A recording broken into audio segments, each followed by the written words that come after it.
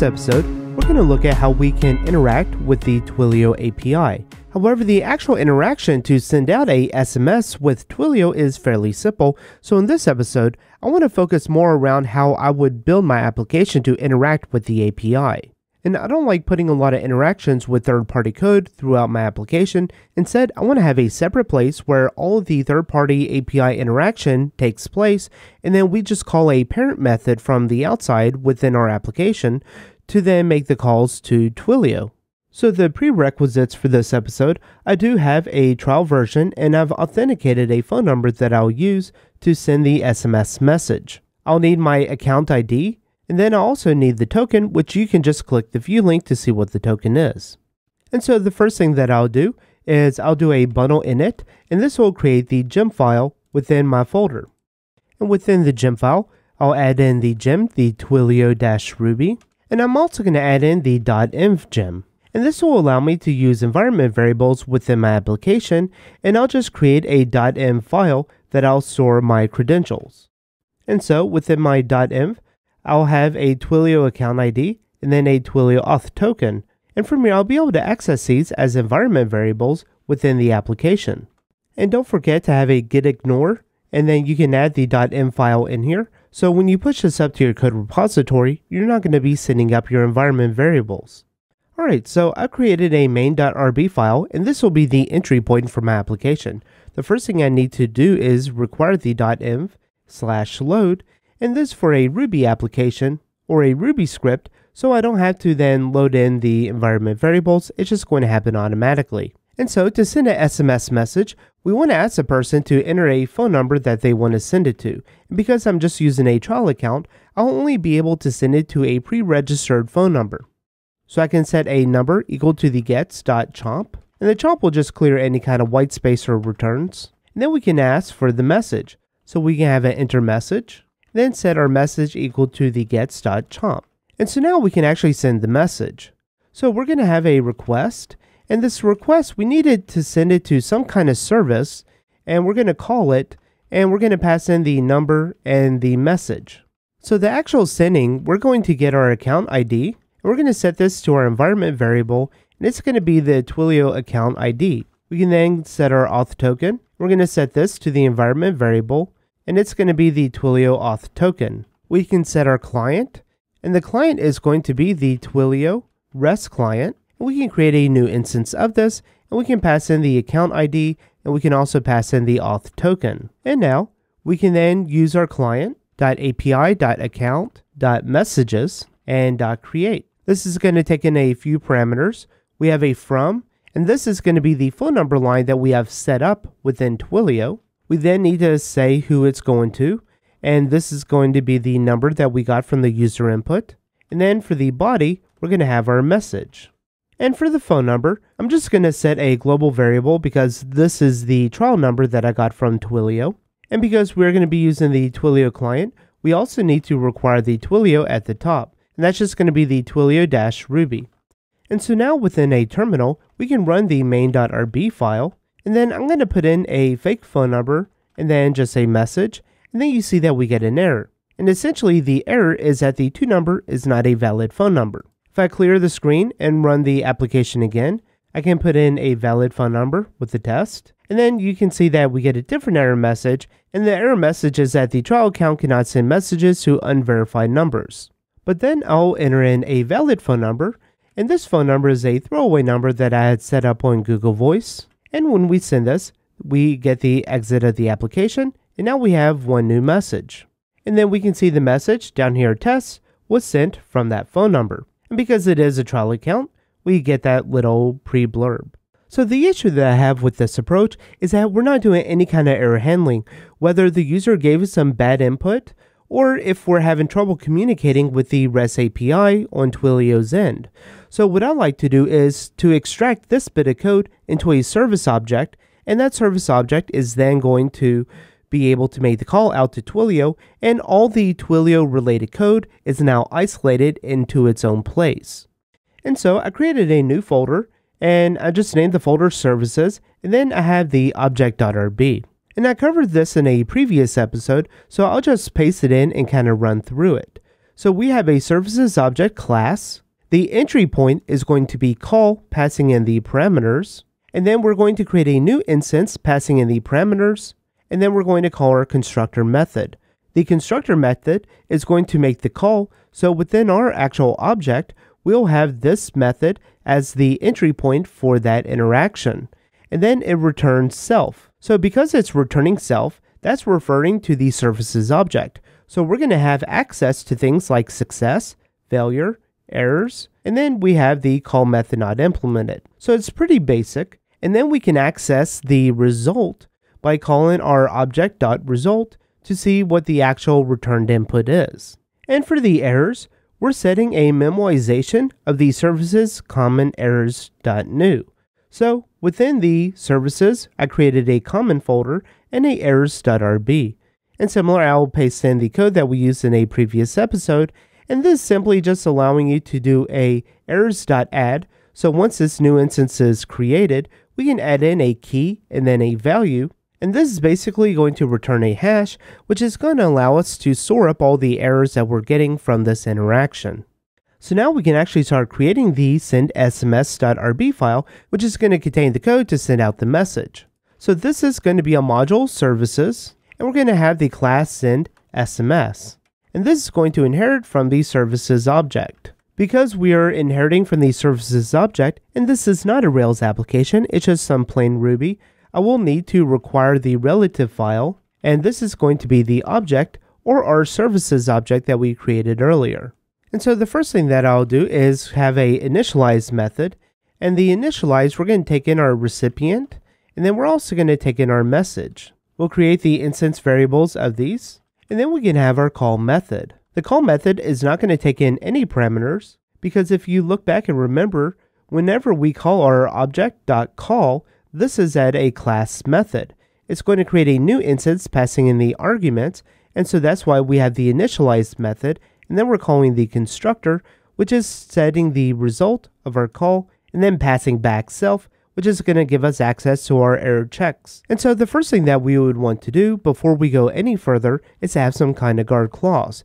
So we can do an errors.add, and this is going to be a validation kind of error, and we'll say that this is when the missing recipient's phone number. And we're going to check this if the add recipient is empty.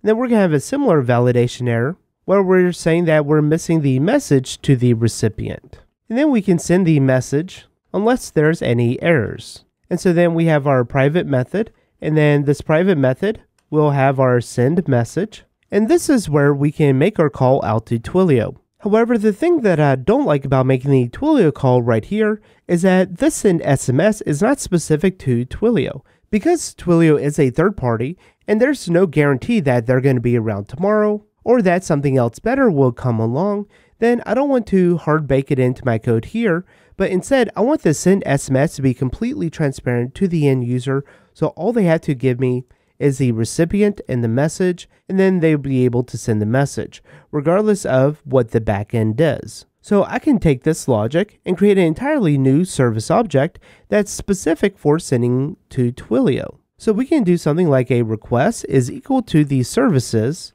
and then I'm going to create a folder called clients, and then I'll create a Twilio, and we'll call, and we'll pass in the recipient, and we'll also pass in the message. So basically, we're going to be calling a service from within a service. So if this service call fails, maybe it was a bad phone number or something else that was sent out to Twilio, then this send SMS is still going to be okay and pass because we did not add any kind of errors.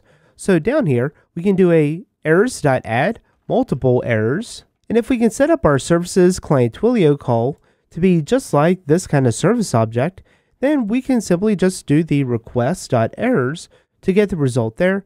And we would only want to do that if the request was a failure. And again, this failure method, it's coming from the object where we have a check for the errors.any.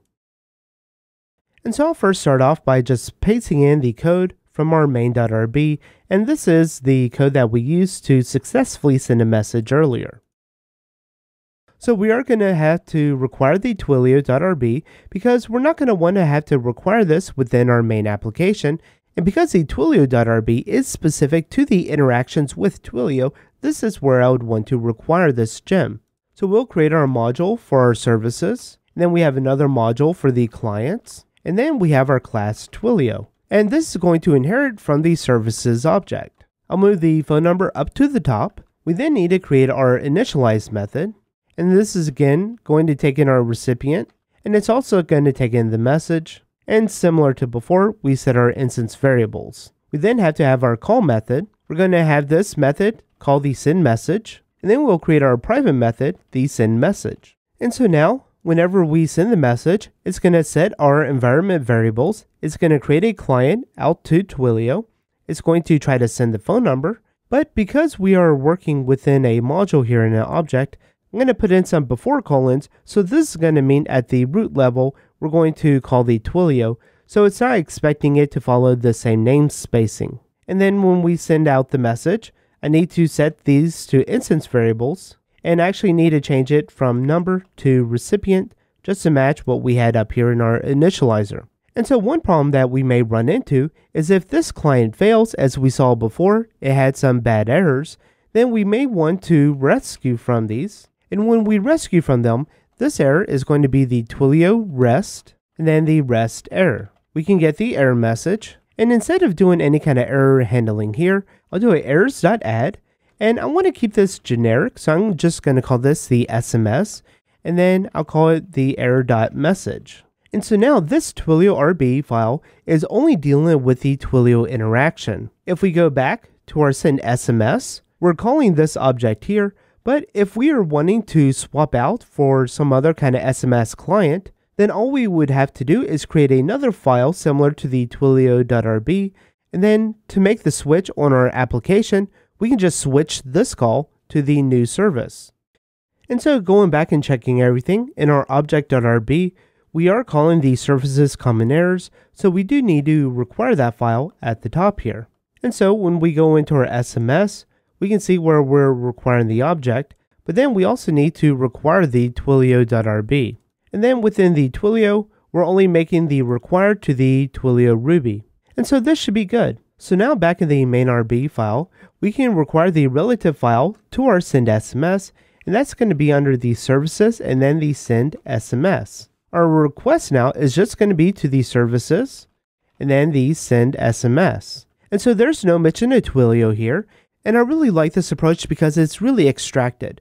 If we ever need to change the SMS protocol or what API we're using, we don't have to go in and mess with our actual application. Instead, we can first go check out the send SMS because that's going to be your first entry point that you know about from the request that you're making. And from within here, it's pretty clear that when you actually go to call and send the message, then that's when you're interacting with some kind of external API. But in this case, we're calling our Twilio service object. And from within here, if you needed to switch services, you can create your new one and then just reference it here. All the while, your main application has not changed a single bit, just your third-party interaction service objects. Alright, so now if we test this out again, I'll enter in my phone number and then I'll just create a test2 message, and then you can see that it exits. And then checking our SMS messages, we get our test2 message. And so we can put some checks in here. We can have a if request.success. We can then do a puts and then say the message sent successfully. We can do a different check. If the request was a failure, we can put our puts and then the request.errors. And so now if we run this, we'll put in a bad number with the message, and then we get the error back that the SMS, and then it's unable to create the record because the 2 number is not a valid phone number. If we try this again with a valid phone number with a message, you can see that the trial account cannot send to unverified phone numbers. Then if we put in a valid phone number and message, we get the message sent successfully, and over on our phone or Google Voice account, you can see that we got our message. So when I'm developing an interaction with the API, I really like this kind of approach where I take the function that I want to perform and then I encapsulate it as a service object as something like a send SMS. And then within that send SMS, I like to extract the actual call out to the third party API as its own object, just in case if I ever have to swap them out. Then the development on the swap out can go ahead and begin, And so then whenever we're ready to flip the switch, all we have to do is change one line in our API call here. And because we have nested service objects, when you do something in request.success, this is checking the success of the SMS. But if we do the puts.result of the send SMS, then that's going to be returning the Twilio service object. And so we could then call something like a result on there to then get the Twilio API. But to do that, you're going to have to return the actual client down here. And we can test this out. And so the request.result, it's returning the services Twilio client. And if we do a request.result.result.class, we can see what this class will be, and it should be our Twilio REST API client. And there you have it. Well, that's all for this episode. Thanks for watching. For more videos, check out driftingruby.com.